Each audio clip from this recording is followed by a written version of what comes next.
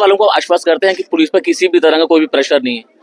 Police पर किसी भी तरह क्या आप किस प्रेशर की बात कर रहे हैं? बड़े- बड़े- बड़े- बड़े- बड़े नाम बड़े- बड़े नाम सामने आए हैं। नाम आ रहे हैं। बड़े बड़े पुलिस पूर्व अधिकारियों के नाम आ रहे हैं। तो क्या लगता है पुलिस की प्रेशर पे तो नहीं आएगी सर? बिल्कुल नहीं आएगी पुलिस प्रेशर में। पुलिस साथ में खड़ी है आपके यहाँ पर भी हम खड़े हैं और हम ऐसे ही खड़े रहेंगे। समझ रहे हैं? एलिगेशंस हैं। अभी इसके साथ जितने फैक्ट्स हैं, जो हमारे पास वीडियोस अवेलेबल हैं, उसके हिसाब पर जितनी इंक्वायरी हो पाएगी जो जो सेक्शन उसमें बनता होगा, लगेगा इंक्लूड किया जाएगा, उसके हिसाब से पूरी कार्यवाही होगी। सर सवाल ये उठा कि पुलिस ने उस समय जो कार्रवाई करनी थी वो कार्रवाई की उस युवक को जब वो घायल जो सवाल जो सवाल आप पूछ रहे हैं वही मैटर ऑफ़ इंक्वायरी वही मैटर ऑफ़ पुलिस की तरफ़ से पुलिस के सामने जो लोग मुँह पर काले रुमाल बांधकर वहाँ पर घूम रहे थे पुलिस ने उनको क्यों नहीं हटाया? क्योंकि यहाँ पर अगर कोई मुँह पर काले रुमाल बांधकर घूमेगा तो उसे पुलिस पकड़कर अंदर ले जाएगी। आपकी बात एकदम सही।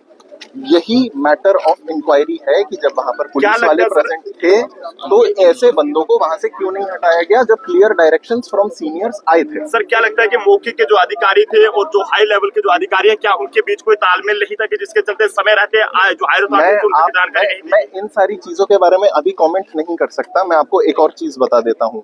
स्पेशल इन्वेस्टिगेटिव टीम जो फॉर्म हुई है उसका हेड मेंबर मैं ही हूँ। मुझे ही खूनी भी पकड़ना है मुझे लैंड माफिया भी देखना है, उन पर भी शिकंजा कसना है।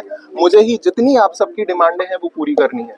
जब तक मैं यहाँ पर चौक में आप सबके साथ खड़ा रहूँगा, वो वही समय है, जिसमें मैं वो सारा काम कर सकता हूँ और मटेरियल ले सकता हूँ, उन बंदों की पकड़ाई कर सकता हूँ।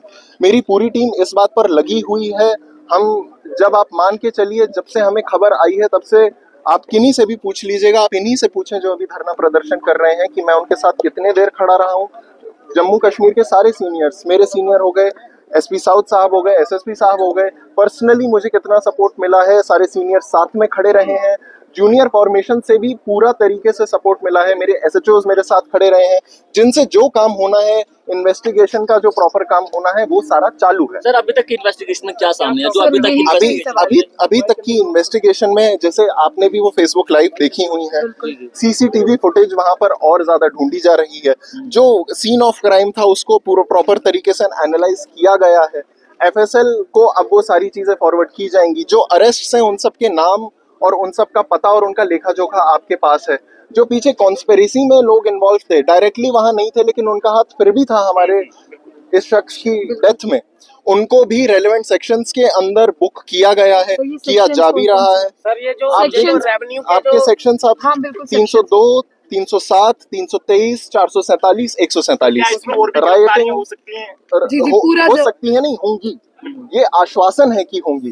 क्योंकि आप देख रहे हैं बड़े नाम इसमें आ रहे हैं रेवेन्यू ऑफिशियल्स के या पुराने जो सबसे- अधिकारियों के नाम सबसे- आए बड़े ऑफिसर्स सबसे सबसे पूछताछ की जाएगी। अब बात यही है जैसे इन्वेस्टिगेशन आगे बढ़ती है आप लोग जानते हैं जब हमारे पास ग्राउंड होता है हम क्वेश्चनिंग के लिए तभी किसी को बुला सकते हैं।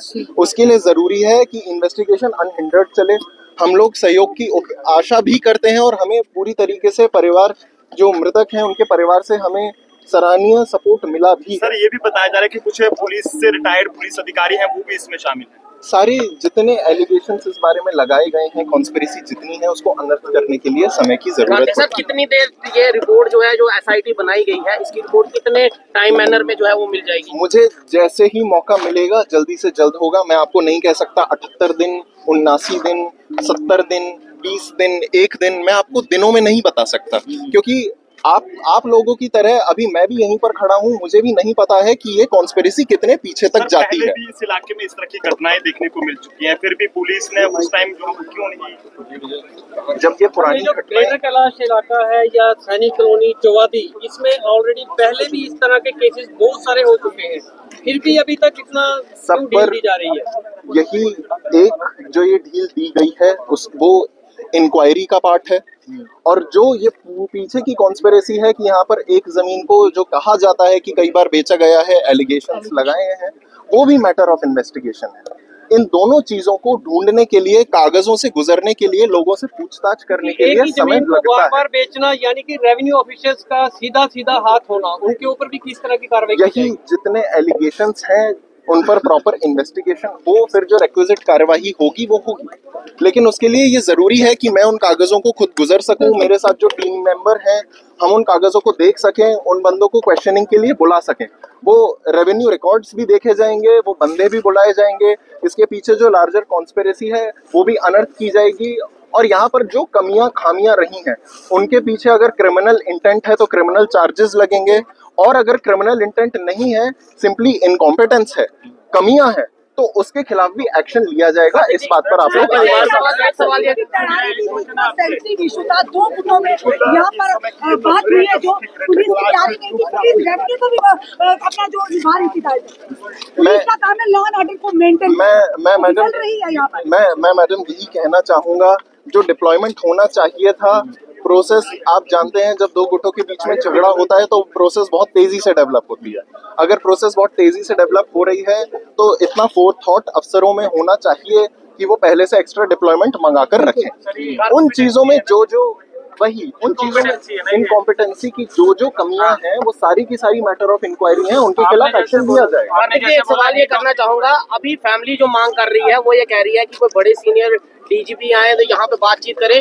परिवार को किस तरह से आप कॉन्फिडेंस में ले सकते हैं? क्योंकि पिछले की पिछली जो पिछली जो कार्यवाही देखी गई है हमने जानीपुर में जो सुसाइड हुआ उसमें जो एसएचओ जो है वो वो भी लाइन में हाजिर हुए हैं। कई केसेस हैं जो इन लोगों के मन में ये है कि पुलिस सिर्फ़ जो है दूर झोंक रही है कि डीपीएल अटैच कर दिया सस्पेंड कर दिया। मैं आपको ये बता सकता हूँ एक कोटेशन है अंग्रेज़ी का है justice delayed is justice justice hurried is justice buried आप जितना तेज काम चलाने की कोशिश करेंगे जितने लोग इसके पीछे हैं वो उतनी आसानी से बचकर निकलते जाएँगे। किसी भी आदमी को जब गड्ढे में डालना होता है तो उसे गहरा खोदा जाता है। उसमें लगता है समय। इन्वेस्टिगेशन ऐसा ही होता है। जितनी गहरी इन्वेस्टिगेशन होती है उतने सजा मिलने के चांसेस ज़्यादा होते हैं उतनी सजा तगड़ी होती है। सर परिवार वालों को आश्वास करते हैं कि पुलिस पर किसी भी तरह का कोई भी प्रेशर नहीं है? पुलिस पर किसी भी तरह क्या आप किस प्रेशर की बात कर रहे हैं? बड़े- बड़े- नाम बड़े- बड़े नाम सामने आए। हैं। के नाम आ रहे हैं, बड़े बड़े पुलिस पूर्व अधिकारियों के नाम आ रहे हैं। तो क्या लगता है पुलिस के प्रेशर पे तो नहीं आएगी सर? बिल्कुल नहीं आएगी पुलिस प्रेशर में। पुलिस साथ में खड़ी है आपके। यहाँ पर भी हम खड़े हैं और हम ऐसे ही खड़े रहेंगे। जी। हमें बस सहयोग की ज़रूरत है। हमें समय की ज़रूरत है। और समय की ज़रूरत कैसे है वो मैं आप लोगों को ऑलरेडी मैंने बताया।